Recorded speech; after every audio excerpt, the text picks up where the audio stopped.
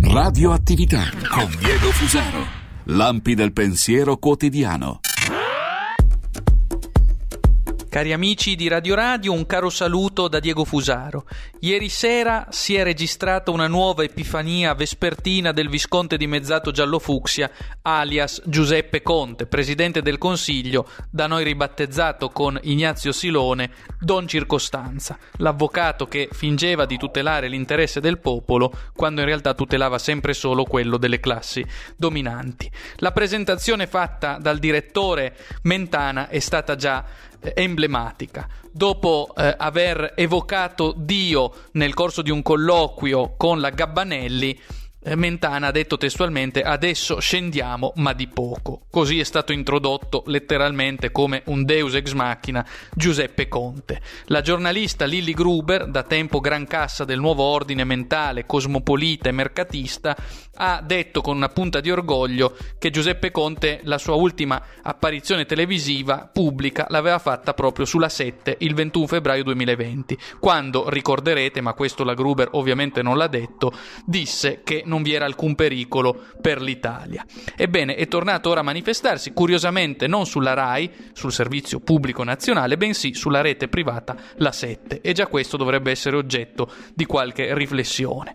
Intanto ha eh, elogiato, come era prevedibile, il proprio operato e anche quello del governo di conseguenza, dicendo che senso di responsabilità e metodo sono state le cifre finora del eh, modo con cui ha operato il governo. Addirittura ha detto che il governo ha, ha operato in assoluta trasparenza. Non ha naturalmente evocato i verbali del CTS secretati e pubblicati solo in parte, che altrimenti avrebbe dovuto smentire il teorema dell'assoluta trasparenza. Digitalizzazione e svolta green, le parole chiave del suo discorso, questa la base dell'operato del governo per fronteggiare la pandemia e quando è emerso il tema dello stato d'emergenza che viene continuamente riproposto dal governo ha elegantemente evitato di rispondere.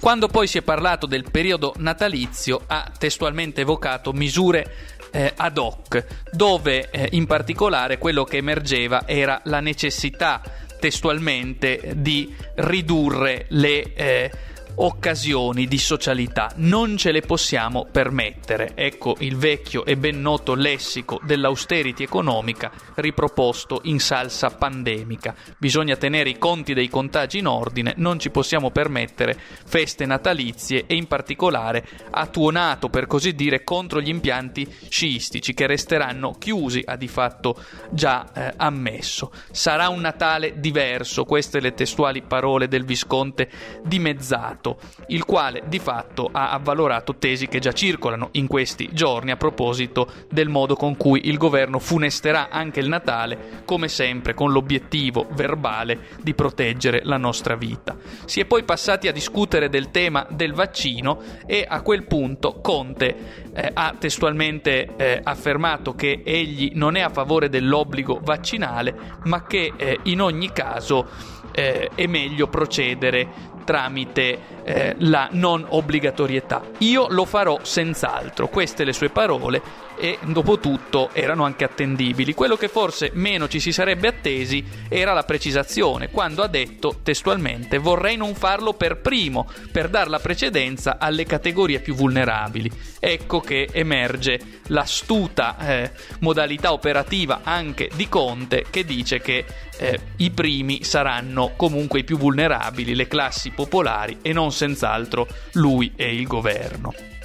Poi si è passati al tema del dialogo con le opposizioni, dove Conte ha detto una cosa di per sé ovvia, ma presentata come in realtà non ovvia, ha detto loro, le opposizioni, il confronto lo volevano in Parlamento, come se ci dovessero essere altri luoghi deputati al confronto politico, peraltro, in forma istituzionale. E ha detto che Forza Italia ha un approccio dialogante, più costruttivo rispetto a Fratelli d'Italia o alla Lega di Salvini. Si è permesso anche con tono schiettamente paternalistico di dare un consiglio ai sindacati, non è un buon momento per contrattare E poi sul MES, dicendo che confidava che questa domanda stasera non ci fosse, ha ancora una volta evitato di rispondere. I mercati finanziari credono in noi, ha tuttavia precisato, e ha altresì detto che con Mario Draghi si sono sentiti.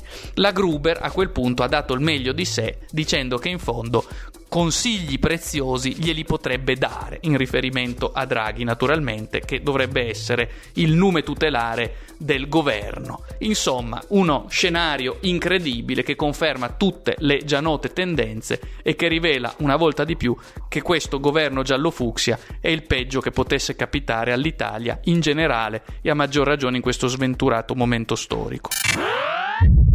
Radioattività con Diego Fusaro.